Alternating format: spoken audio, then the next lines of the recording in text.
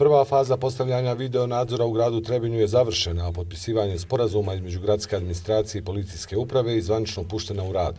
Tako će centar Istočne Hercegovine biti pokriven sa 41 kamerom, od čega 31 u gradskom parku i 10 na ključnim raskrsnicama u užijem centru grada. Ovaj prvi segment e, je već završen. E, vrijednost posla je oko 200.000 konvertibilnih maraka. Eh, imamo ukupno 41 kameru eh, sa glavnim serverom i server salom koja je smještena u policijskoj upravi Trebinje.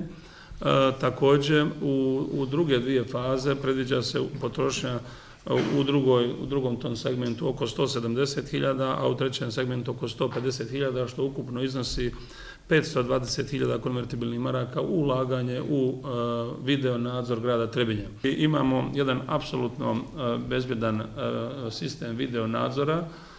Procjena je naravno da na ovaj način se povećava bezbjednost u samom gradu, štiti imovina, štite lica i e, naravno e, prekršioci se mogu na mnogo lakši način e, kazniti. I u policijskoj upravi Trebinje kažu da će ovaj video nadzor dodatno poboljšati bezbjedonosnu situaciju.